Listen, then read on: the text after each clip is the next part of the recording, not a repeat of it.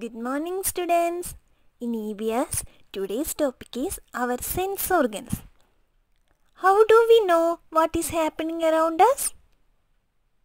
Ah, in our body, we have five sense organs. Do you know that? Okay, let's study about those five sense organs. Yes, our sense organs are eyes, ears, nose, tongue, which are on the face. The skin is the fifth sense organ, which is found all over the body. The first one is eyes. How many eyes do you have? Yes, we have two eyes.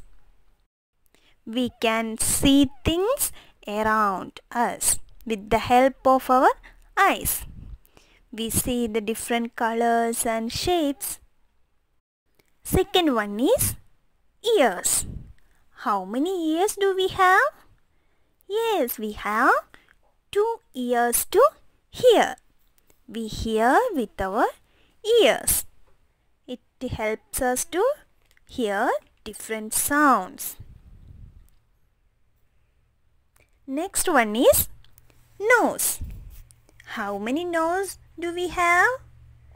Yes, we have only one nose. We smell through our nose. Next one is our tongue.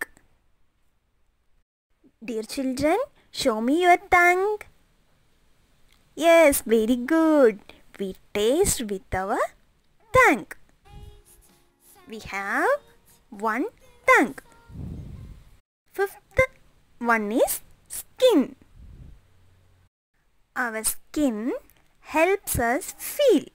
We have skin all over the body. Yes, can we recall the sense organs?